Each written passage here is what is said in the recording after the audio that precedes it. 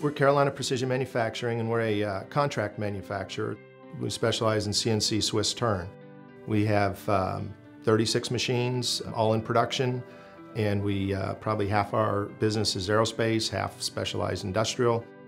Historically, we would have people go out to each of the machines and uh, record the data or yesterday's data in the morning and then input it into our ERP system. Now, we've transitioned to MachineMetrics as a source of our data. It's a game changer as far as how we go about our day because with real-time data, we can see what's happening right now and you go and respond and react to that and then it gives you a much better opportunity to figure out what's going on and fix the problem as it's happening.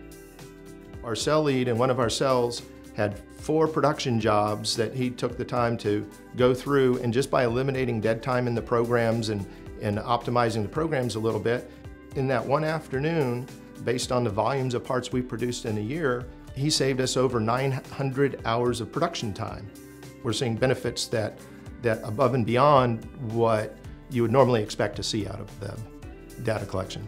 The information we get changes the way we work. They're constantly looking at the boards in their cells and you know seeing if they're in the green or not.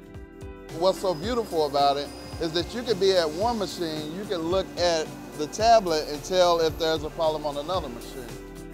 This is great because everybody can use it from day one the simplicity of MachineMetrics is, I think, one of those things that, that I can't say enough about. As opposed to an ERP system, you can't really screw anything up in it. And as they understand that the people in the organization that get the most out of it are the ones that become more valuable to the organization as well.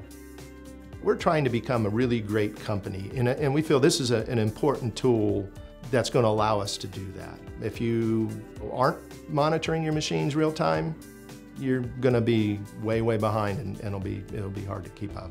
We've only been at it three months now, so um, you know, it is, it is that ingrained in our organization already, and we expect it to be in the future even, even more so.